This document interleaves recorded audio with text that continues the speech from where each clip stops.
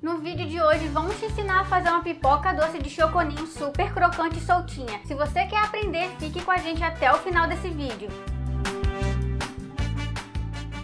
Para começar aqui a nossa receita de pipoca doce de choconinho, vamos colocar 5 colheres de sopa de óleo na panela já quente. Já deixei esquentar só um pouquinho aqui por enquanto.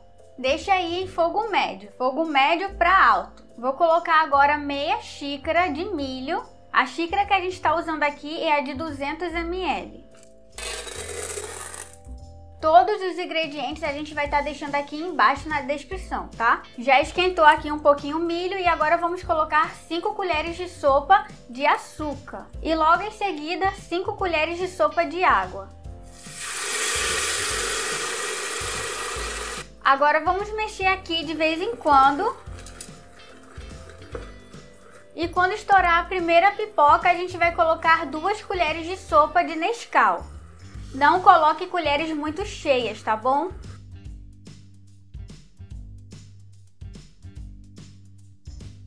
Não se preocupem porque realmente demora um pouco para começar a estourar, tá certo? É porque tá caramelizando esse açúcar ainda. Não coloque colheres muito cheias, tá bom?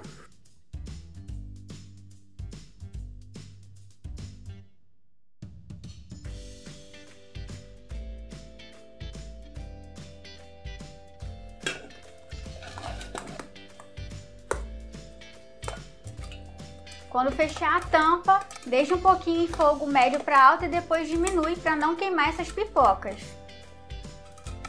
E aí, se você não tiver pipoqueira, já que não vai ter esse pininho para ficar girando, você balança a sua panela.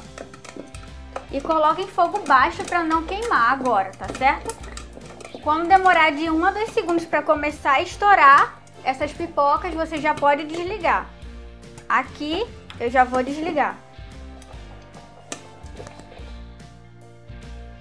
E agora, pessoal, ela ainda quente aqui dentro mesmo da panela, vamos jogar de 2 a 3 colheres de sopa de leite em pó.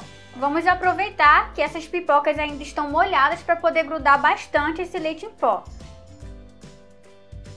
Vamos fechar aqui novamente a panela e sacudir. Lembrando que pode ser o da sua preferência, tá? Leitinho, qualquer marca. Se vocês quiserem, podem estar colocando essa pipoca em alguma forma e fazendo esse processo do leite em pó dentro da forma, tá certo? E não dentro da pipoqueira, vocês que escolhem.